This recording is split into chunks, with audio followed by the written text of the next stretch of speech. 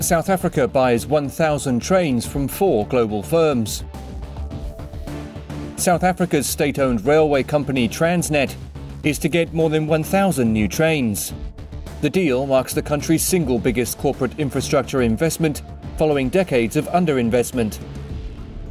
South Africa ordered 599 electric locomotives from China's CSR Corporation and the South African subsidiary of Canada's Bombardier, and 465 diesel trains from China's CNR Corporation and General Electric.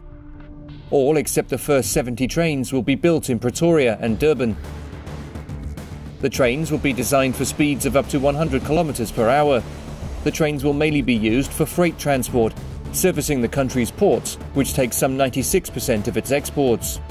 Transnet is in the midst of a seven year plan to improve the country's rail, port, and pipeline infrastructure.